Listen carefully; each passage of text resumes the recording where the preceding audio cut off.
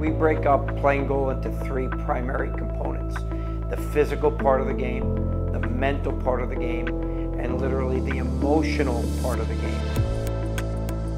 Every one of them is more demanding than almost every profession on the planet.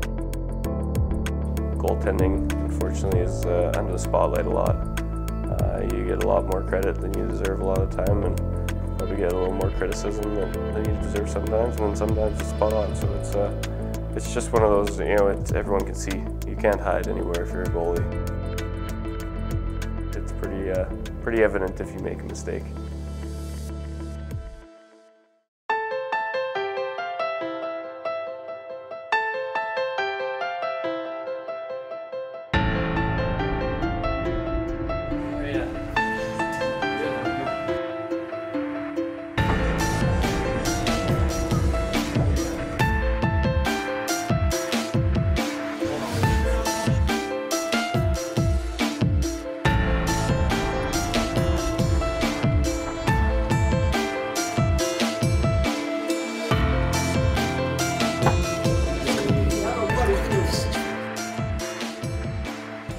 Usually when I'm trying to find a room, you're like sprinting around the whole building doing stairs.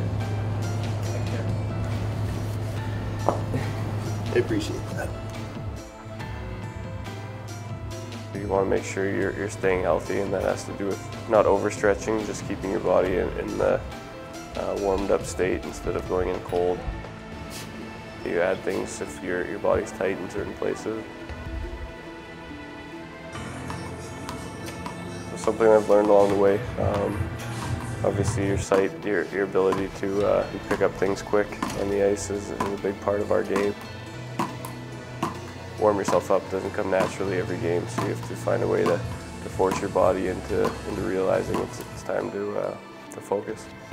Braden knows himself very well. He knows what he needs to be successful. He knows how to prepare. He is a very cerebral guy. And when you put all those things together, his routine is years and years in the making. It did not happen one day or one season. And he knows what works for him.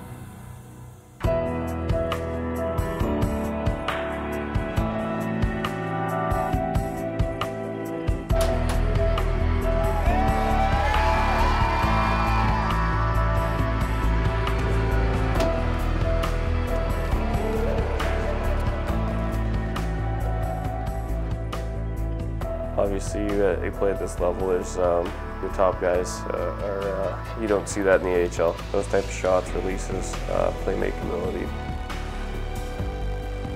You have to be mentally tough, mentally strong.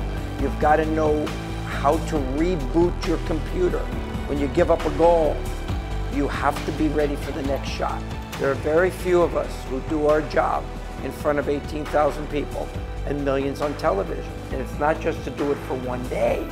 We're doing this day in and day out, and in the NHL, 82 times per playoff.